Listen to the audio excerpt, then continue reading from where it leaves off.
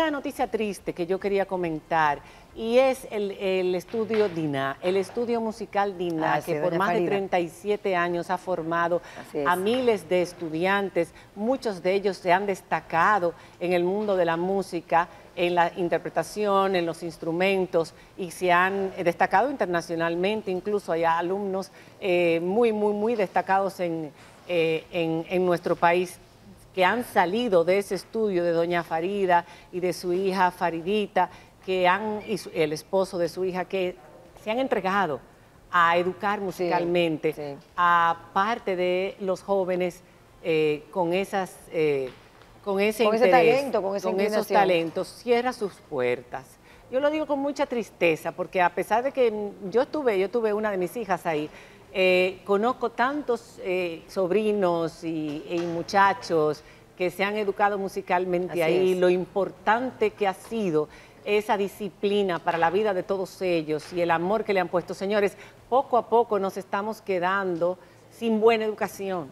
A mí me preocupa mucho también lo que está pasando con la educación a distancia. No, no, no se han hecho estudios para ver cuál ha sido el aprovechamiento de los estudiantes, que era algo que teníamos que ver para saber realmente si está funcionando la educación a distancia, porque ya hay que empezar a pensar, y de hecho la semana que viene van a estar aquí los de los colegios privados, a pensar poco a poco en una presencialidad, aunque sea igual con los círculos de confianza, días intercalados, poco a poco, porque eh, la educación es vital. Un año donde no se aproveche la educación y donde haya deserción es un año que nos va a costar muchos, muchos años en consecuencias.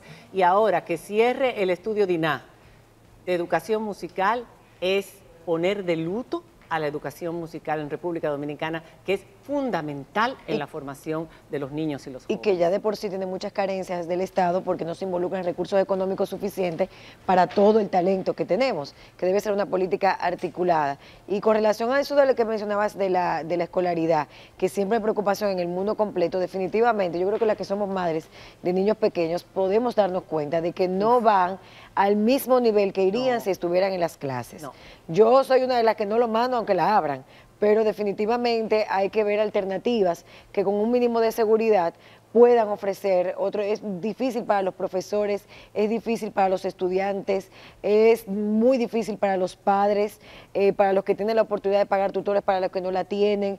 un niño pequeño de 8, 6, 7 años. ¿Qué porcentaje de, los padres dominicanos se pueden dar el lujo de pagar dar un tutor? maestro privado? No, pero es que no, es que te cuesta casi lo mismo que la escolaridad al final. Y entonces eh, muchos, muchos padres teniendo que salir, cumpliendo las labores del hogar, se hace muy difícil. Yo creo que los padres también estamos aprendiendo en esta etapa, cómo manejarnos con los niños que no van a la misma celeridad que fueran. Lamentablemente habrá un retraso en esta generación de uno, dos o tres años donde pudieron avanzar. Eso va a ser así, no hay forma. Y la no hay forma. No es solo, y solo también la, dinámica ni No, y también la dinámica social. Las porque universidades claro.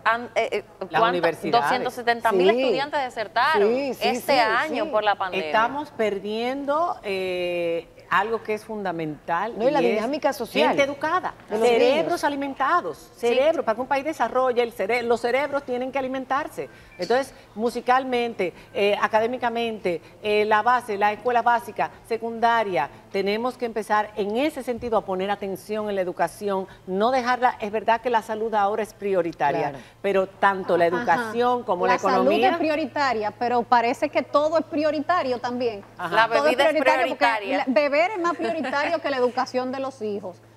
los cines son más prioritarios, las iglesias son más prioritarios, los hoteles son más prioritarios, todo es más prioritario. La economía. Con, todo se puede poner un protocolo, menos con la educación. Chicas, eh, y yo no quería...